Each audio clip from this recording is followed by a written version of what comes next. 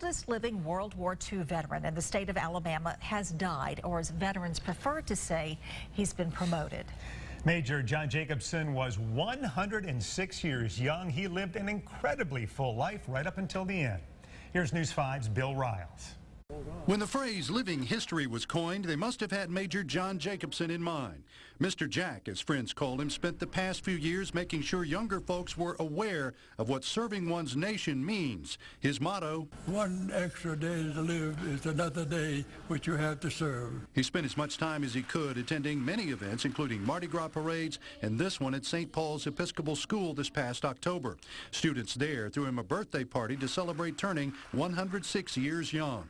But the real benefit were for these students who walked away with a new outlook on history and what service really is. Mr. Jack was an officer during World War II, helping to orchestrate one of the most massive military campaigns in history. He was the quartermaster officer for famed General George S. Patton during Patton's march through Europe. In charge of getting all of the, all of the food and, equipment ready. And uh, right there, when they went across, I was right behind the general. That's him standing right beside the general as he reviews his troops. Later, Mr. Jack would go on to establish the Army's Quartermaster School. But even after the Army and the war, Jacobson was still serving. He founded the National Beef Packing Company in Liberal, Kansas, and ran the corporation for many years.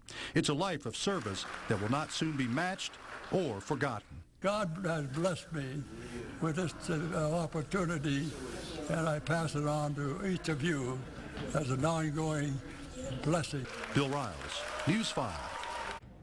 His family was at his side last night at his home in Point Clear when he passed. Funeral services for Major John Jacobson will be held at Arlington South, the Alabama State Veterans Memorial Cemetery at Spanish Fort Tuesday, April 18th at 11 o'clock.